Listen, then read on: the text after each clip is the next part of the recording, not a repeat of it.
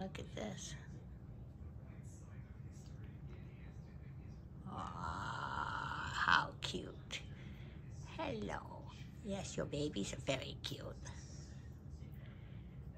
Some of them are lost over there on the other side of the tunnel. And I have a puppy on my lap, so I can't get up. Not being lazy, just